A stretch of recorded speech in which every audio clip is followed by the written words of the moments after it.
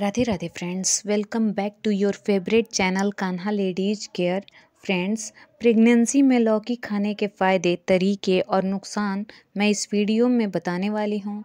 Video आपके लिए बहुत ही इन्फॉर्मेटिव रहने वाली है तो वीडियो को एंड तक देखिएगा। चैनल पे फ़र्स्ट टाइम आए हैं तो चैनल को सब्सक्राइब भी कर लीजिए, ताकि ऐसे ही यूजफुल वीडियोज़ आप तक पहुँचते रहें। तो चलिए वीडियो स्टार्ट करते हैं। फ्रेंड्स अगर प्रेगनेंसी में लौकी को आप अपनी डाइट में ऐड करती हैं तो इससे आपकी इम्यूनिटी स्ट्रांग होगी। रिसर्च बताती है कि लौकी खाने से बॉडी में लिपिड का लेवल कम होता है और लिपिड बढ़ने से डायबिटीज़ होने का खतरा रहता है। इसलिए प्रेगनेंसी में लौकी खाने से जेस्टेशनल डायबिटीज़ का खतरा भी कम हो जाता है। लौकी में एंटी हाइपरटेंसिव इफ़ेक्ट होता है, जिसकी वजह से हाई बीपी को कंट्रोल करने में लौकी काफ़ी बेनिफिशियल होता है। लौकी में फोलेट भी प्रॉपरली पाया जाता है, जो प्रेगनेंसी में मिसकैरिज जैसी प्रॉब्लम्स से बचा सकता है। साथ ही बच्चे को न्यूरल ट्यूब डिफेक्ट और स्पाइना विडिफा से रिलेटेड प्रॉब्लम से भी बचाता है।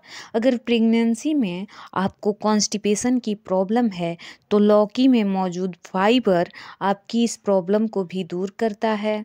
प्रेगनेंसी में लौकी को अपनी डाइट में ऐड करने से पहले ये ज़रूर देख लें कि लौकी का टेस्ट कड़वा ना हो, वरना आपको फ़ूड पॉइजनिंग भी हो सकता है।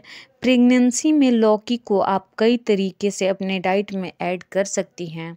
आप चाहें तो लौकी की सब्ज़ी या कोफ्ते बनाकर खा सकती हैं। इसका जूस बना के पीना चाहें तो पी सकती हैं।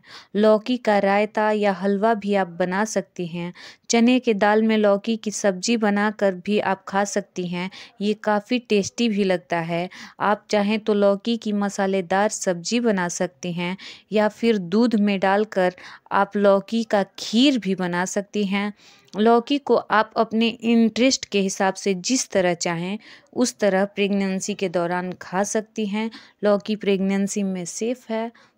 फ्रेंड्स इस वीडियो में फ़िलहाल बस इतना ही। मिलते हैं नेक्स्ट वीडियो में किसी और प्रेगनेंसी रिलेटेड टॉपिक के साथ। तब तक के लिए bye take care thanks for watching Kanha ladies care